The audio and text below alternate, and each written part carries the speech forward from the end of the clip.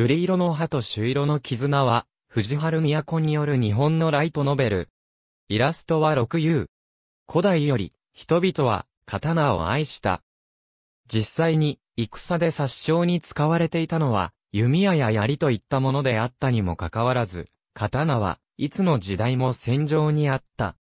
それは、より鋭く、より荒々しく、より美しく、ただ人を切る、その一たちのためだけに研ぎ澄まされる存在。それが刀。その先を追い求め続けた古の刀鍛冶は、ついに近畿に触れ、その結果生み出された存在があった。それにより生み出されたものは、刀間と呼ばれ、いわゆる刀の魔物。姿形は人であり、喜怒哀楽もある。だが、彼らはいつも血を欲している。それは、自らを生み出すために、灼熱の炉にくべられた、人柱の苦痛と遠さの叫び上に、人を殺し続ける刀間と、刀間を殺し続ける人間。